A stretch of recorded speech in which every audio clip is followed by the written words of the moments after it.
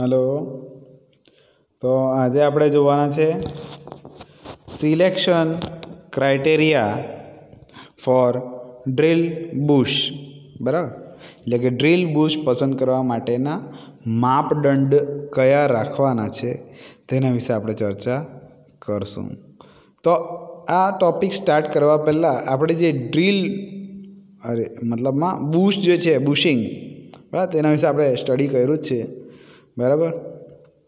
કયા કયા બુક્સ જોઈ ગયા આપણે લાસ્ટ ટાઈમ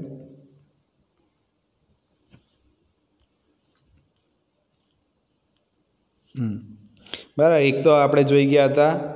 કયું? તો સ્લીપ રિન્યુએબલ બુશિંગ. બરાબર છે? એની ફિગર આપણે જોઈ જ છે. આ રીતે આવે છે. બરાબર? કઈ રીતે? પછી ફિક્સ્ડ રિન્યુએબલ બુશિંગ્સ બરાબર? નામ યાદ રાખો અને ફિગર બરાબર છે? ખ્યાલ આવે? ત્યારબાદ પ્રેસ ફિટ બુશિંગ તેમજ ઓઇલ ગ્રુ બુશિંગ બરાબર છે? આની અંદર મતલબમાં આ રીતે ગ્રુપ બનાવેલા હતા. રાઈટ આ રીતે પછી ઝિગઝેક જેવું આપણે આ કહી શકીએ. બરાબર? એટલે ઓઇલ ગ્રો બુશિંગ્સ બરાબર? તેમજ લાઇનર બુશ બરાબર? એટલે સ્ટીપ અને રેન્યુએબલ બુશની લાઈફ વધારવા તેમજ તેને ગાઈડ કરવા તરીકેના લાઇનર બુશ વપરાય છે. બરાબર? ત્યારબાદ જે આપેલ ડ્રીલ સાઇઝ હતું, પરથી જીગ બુશનું પસંદ કરવાનું હતું, હા, તે પણ આપણે જોયેલું કે ભાઈ selection jig bush given drill તો એના માટે સ્ટેન્ડર્ડ ટેબલ કે કોડનો ઉપયોગ કરવો જરૂરી છે. જ્યાં સગ, આ સગવડ ન હોય, ત્યાં બુશને અંદર અંદરનો ડાયામીટર જોઈ કે નહીં. તો કેટલો આપેલો છે મતલબમાં? Zero point zero zero two ફાઇવથી zero point zero two five એક મતલબ આંકડો પેલો ખાઈ જાય. તો મોટો પસંદ કરવામાં આવતો અને બુશની લંબાઈ જે છે, સામાન્ય રીતે ડ્રીલના ડાયામીટર કરતાં એક પોઈન્ટ પંચોતેરથી બે પોઈન્ટ પચાસ ગણી રાખવામાં આવતી. હે પછી બુશના પ્રકાર તેને સ્પેસિફાઈ કરવામાં આવે ને મુખ્યત્વે આપણે નીચેની વિગતો આપવાની હતી કે ભાઈ એનો નોમિનલ સાઇઝ કેટલી છે? પછી એનું બોડીનો આખો જે બોડીનો ડાયામીટર ને તે કેટલો? બોડીની લંબાઈ કેટલી? લેન્થ કેટલી? બરાબર? પછી હેડ જે આપેલો છે તેનો ડાયામીટર કેટલો? તેની થિકનેસ બરાબર જાડાઈ સ્લીપ અને રિન્યુએબલ બુશ માટે સેન્ટર ઓફ સ્ક્રૂ આપવું જરૂરી છે. એટલે કે આ ઉપરાંત લેટરનો ઉપયોગ કરીને બૂસ્ટનો પ્રકાર પણ બદલેલા. બરાબર એટલે દાખલા તરીકે એસ એટલે સ્લીપ બુશ ને એચ એટલે પ્રેસ ફિટ બરાબર શોલ્ડર ટાઈપ બુશ ને બધું. આ ગણતરી આપણે જોઈ ગયા હતા. બરાબર? તો હવે આપણે ટોપિક ઉપર આવીએ. તો એની અંદર આપણને કીધું કે selection criteria for drill bush બરાબર? તો સૌપ્રથમ વાત કરીએ તો ડ્રીલ બુશ સામાન્ય રીતે બે પ્રકારના હોય છે. એક તો સ્ટેન્ડર્ડ અને બીજું સ્પેશિયલ. બરાબર? તો સૌપ્રથમ આપણને કીધું કે સ્ટેન્ડર્ડ ડ્રીલ બુશ ડિઝાઇન કરી, સ્ટેન્ડર્ડ ડ્રીલ બુશ ડિઝાઇન કરી, tool standard drill bush design કરી, ટૂલ રૂમમાં બનાવવાની જરૂર નથી. સ્ટેન્ડર્ડ ડ્રીલ બુશ ડિઝાઇન કરી ટૂલ રૂમમાં બનાવવાની જરૂર નથી. પરંતુ જો મેન્યુફેક્ચરરના કેટલોગ દ્વારા પસંદ કરવામાં આવે છે બરાબર કેટલોગ જે આપેલો ને તેના પસંદ દ્વારા પસંદ કરવામાં આવે છે, તો જ્યારે સ્પેશિયલ બુશ ડિઝાઇન કરી, જ્યારે સ્પેશિયલ બુશ ડિઝાઇન કરી, ટૂલ રૂમમાં કે ઓર્ડર આપી બનાવવામાં બરાબર? અથવા તો બનાવવા પડે છે એવું આપણે કહી શકીએ, હે ને? જ્યારે સ્પેશિયલ બૂસ્ટ ડિઝાઇન કરી ટૂલ રૂમમાં કે ઓર્ડર આપી બનાવવા પડે છે. બરાબર? ત્યારબાદ કીધું કે ડ્રીલ બૂસ્ટની પસંદગીમાં તેની મટીરિયલ હોલ સાઇઝ હા મટીરિયલ કયું છે? તે. એની હોલ સાઇઝ કેટલી છે? તે. બરાબર? હા ને?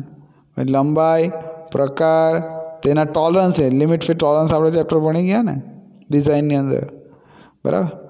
એટલે એ ટોલરન્સ કેટલા? પ્લસ ઓર માઇનસ કેટલા આપેલા હોય? ઝીરો પોઈન્ટ ઝીરો ટુ આપેલો હોય ઝીરો પોઈન્ટ ઝીરો વન આપેલો હોય. બરાબર? જે કંઈ આપેલું હોય તે પછી ઓપરેશન વગેરે ધ્યાનમાં લેવા જરૂરી છે. ખ્યાલ આવે? બરાબર? ત્યારબાદ વાત કરીએ તો ડ્રિલિંગ ઓપરેશન એક્યુરેટલી કરી શકાય, બરાબર? ડ્રિલિંગ મશીન એક્યુરેટલી આપણાથી કરી શકાય. તો તે માટે યોગ્ય કટિંગ સ્પીડ, યોગ્ય કટિંગ સ્પીડ, ફીડ અને ડ્રિલિંગ કેપેસિટી જરૂરી છે. બરાબર? તો આથી મશીનની કેપેસિટી બરાબર છે ને? આથી મશીનની જે કેપેસિટી છે ને, બરાબર? તેના પ્રકાર જાણવા જરૂરી છે, બરાબર? તો સામાન્ય રીતે જીગ ફિક્સચરનો ઉપયોગ, બરાબર ને? સામાન્ય રીતે જીગ ફિક્સચરનો ઉપયોગ માસ પ્રોડક્શનમાં થતો હોય, બરાબર? કેમ કે શું હોય એમાં? કે કોઈ ઓબ્જેક્ટ બનાવવાનો છે. ધારો કે મારે કોઈ બોલ પેન બનાવવી છે કે ઇરેઝર બનાવવાનું છે કે શાર્પનર બનાવવાનું છે. બરાબર? આપણે એક નોર્મલ એક્ઝામ્પલ લે પણ એ જથ્થાબંધ બનાવવાનું છે. એટલે કે માસ પ્રોડક્શનમાં બનાવવાનું છે. બરાબર? એક ખાલી પાર્ટ બનાવવાનો હોય તો તેના માટે આપણે કેવું કે ફિક્સચર્સ એક જ ટાઈપનું યુઝ કરીએ. બે બનાવવા તો તે રીતે. પણ મલ્ટિપલ ઓપરેશન હોય ને તો ત્યારે આપણે જીગનો યુઝ કરતા હોય.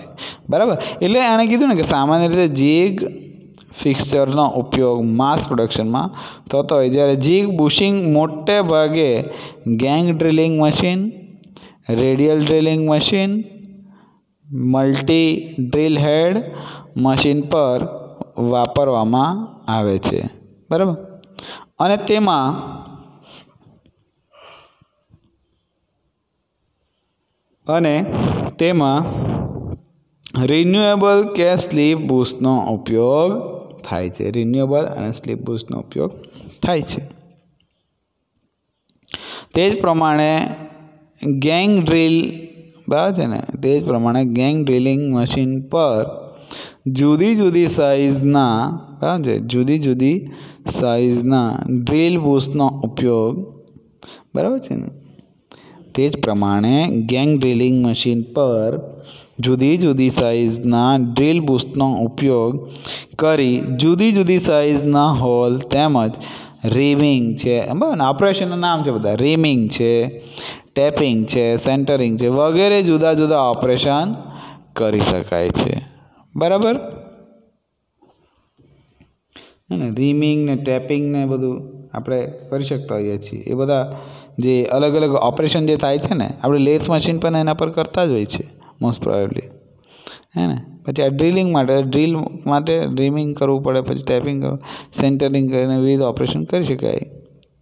તો નાની સંખ્યા માટે, નાની સંખ્યા માટે પણ એક્યુરેટ અને ઝડપી હોલ પાડવા માટે, નાની સંખ્યા માટે,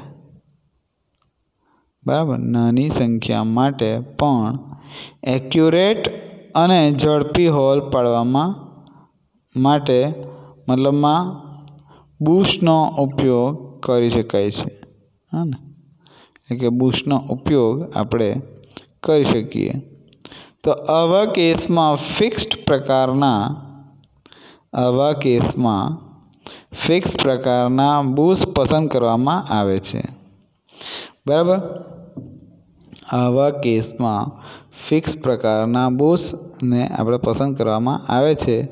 તો આવા ઓપરેશન માટે અપરાઇટ ડ્રિલિંગ કે, બરાબર? આવા ઓપરેશન માટે અપરાઇટ ડ્રિલિંગ કે જનરલ પર્પઝ ડ્રિલિંગ મશીન વાપરી શકાય છે. બરાબર ને? આવા ઓપરેશન માટે આપણે અપરાઇટ ડ્રિલિંગ કે જનરલ પર્પઝ ડ્રિલિંગ મશીન વાપરી શકાય છે. બરાબર? ચાલો. ત્યારબાદ વાત કરીએ તો ડ્રીલ બુશની પસંદગી પ્રોસેસ પર પણ આધારિત છે. કઈ ટાઈપની પ્રોસેસ છે? તેના ઉપર બી આધાર રાખે. ડ્રીલ બુશની પસંદગી પ્રોસેસ પર પણ આધારિત છે. જેમ કે ડ્રિલિંગ માટે બુશના હોલના ટોલરન્સ આ ડ્રિલિંગ માટે બુશના હોલના ટોલરન્સ રનિંગ ફિટ ક્લાસના રાખવાના. બરાબર છે? તો આ ઉપરાંત જ્યાં હોલ વધુ ઊંડા હોય, જ્યાં હોલ વધુ ઊંડા હોય, અથવા તો વધુ કેવા એક્યુરેટ હોય, બરાબર ને? વધુ ઊંડા હોય ક્યાં તો વધુ એક્યુરેટ હોય, અથવા તો જોઈતા હોય, ત્યાં રીમિંગ માટે ડબલ ગાઈડ બુશનો ઉપયોગ કરવો. રીમિંગ માટે આપણે ડબલ ગાઈડ બુશનો ઉપયોગ કરવાનો. બરાબર? તો આ ઉપરાંત અને એલાઇમેન્ટ સચવાય તેની ખાસ કાળજી રાખવી જોઈએ. બરાબર?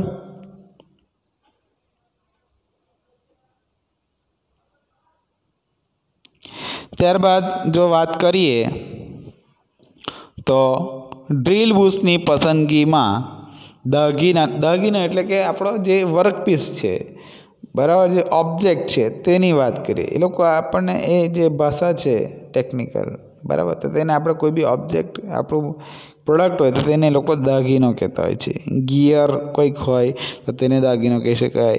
બરાબર. કોઈ બી ઓબ્જેક્ટ હોય તો તેને આપણે કહી શકીએ.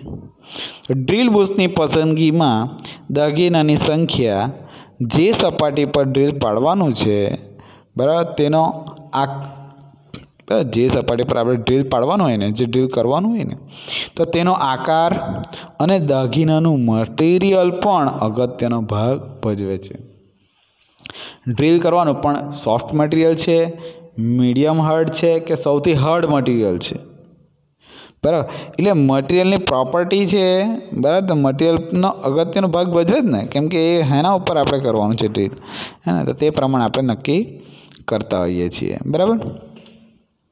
તો જો દાગીનાની સંખ્યા અને તેમાં પાડવાની હોલની સંખ્યા ઓછી હોય ને જો દાગીનાની સંખ્યા કેવી? બરાબર? જો દાગીનાની સંખ્યા અને તેમાં પાડવાની હોલની સંખ્યા ઓછી હોય, તો ફિક્સ પ્રકારના બૂસ વાપરવાના. બરાબર? કે ભાઈ આટલા જ હોલ પાડવાના છે, તો આટલું, આ એક બૂસ લાગે. બરાબર? પણ વધુ દાગીના કે હોલ માટે રિન્યુએબલ અને જો એક જ જગ્યાએ એક કરતાં વધુ ઓપરેશન કરવાના હોય ને, તો ડ્રિલિંગ રીમિંગ ટેપિંગ વગેરે તો સ્લીપ બૂસ વાપરવા જ પડે. બરાબર? અને જો સપાટી ત્રાસી હોય, બરાબર ને? એમ સીધી હોય તો તો વાંધો નથી, બરાબર છે? પણ થોડી ત્રાસી હોય ને, જો સપાટી થોડી ત્રાસી કે ગોળાકાર હોય, તો સ્પેશિયલ પ્રકારના બુશ વાપરવા, બરાબર? તો સ્પેશિયલ પ્રકારના બુશ આપણે વાપરી શકીએ, બરાબર? જો મટીરિયલની ચીપ સેગમેન્ટમાં ન નીકળતી હોય, જો મટીરિયલની ચીપ સેગમેન્ટમાં ન નીકળતી હોય, તો તેવા કિસ્સામાં કેટલીક વાર, હા મટીરિયલ સેગમેન્ટમાં ન નીકળતી હોય, તો તેવા કિસ્સામાં કેટલીક વાર ચીપને જીગ બુશમાંથી પસાર થવા દેવામાં આવે છે. ચીપને શું? તો જીગ બુશ જે હોય ને, તેમાંથી આપણે પસાર દેવા દેવામાં આવતું હોય. બરાબર? તો આવી વખતે ટૂલ સ્ટીલના હર્ડ ન કરેલા બુશ વાપરી શકાય.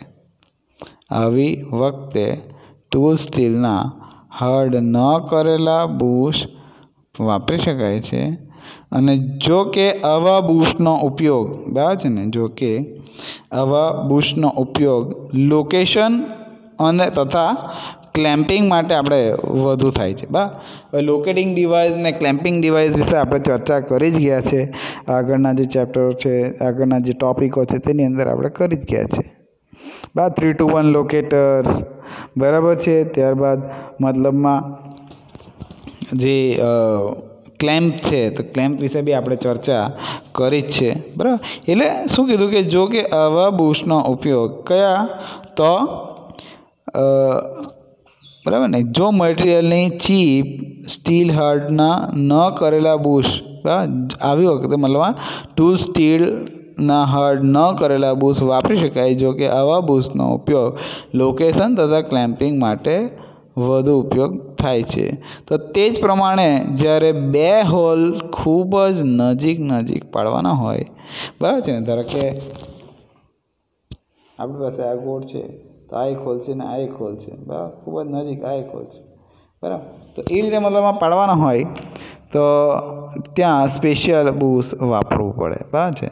એમાં પેલું માની આવે એટલે સ્પેશિયલ બૂસ લેવું પડે. તો કહેવાનો મતલબ કે સામાન્ય રીતે નાની સાઇઝ એટલે કે પચીસ એમએમ સુધી ટૂલ સ્ટીલના બૂસ વાપરી શકાય છે. બરાબર?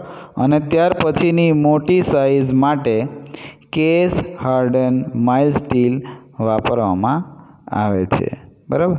એટલે રિન્યુઅલ બુશ સાથે હંમેશા લાઇનર બુશ જ વપરાય છે એવું આપણે કહી શકીએ. બરાબર છે ને? હે ને? તો સામાન્ય રીતે નાની સાઇઝ એટલે કે પચીસ એમએમ સુધી ટૂલ સ્ટીલના બુશ વપરાય છે અને ત્યાર પછી જ એ જ મતલબમાં મોટી સાઇઝ માટે કેસ હાર્ડન માઇલ સ્ટીલ વાપરવામાં આવે છે અને રિન્યુઅલ બુશ સાથે હંમેશા લાઇનર બુશ વપરાય છે. ક્લિયર? અહીંયા આપણે સ્ટોપ કરીએ છીએ.